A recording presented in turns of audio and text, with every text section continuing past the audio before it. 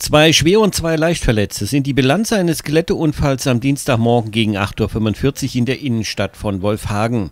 Vermutlich aufgrund schneeglatter Fahrbahn kam ein Linienbus in einer Rechtskurve nach links von der Fahrbahn ab und geriet in den Gegenverkehr. Er kollidierte mit einem entgegenkommenden Fahrzeug.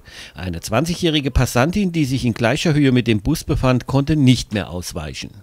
Der Bus ist ins Rutschen gekommen äh, hat eine Passantin touchiert und einen äh, Pkw gerammt. Die Verletzten, darunter auch ein 14-jähriger Schüler, wurden nach einer ärztlichen Erstversorgung in die umliegenden Krankenhäuser gebracht. Da der Bus mit dem Vorderrad auf einem Mauervorsprung stand, musste er mit dem Kran auf die Straße gehoben werden. Auch ein größeres Straßenschild wurde bei dem Unfall stark beschädigt. Der Gesamtsachschaden wird nach Angaben der Polizei auf rund 30.000 Euro geschätzt.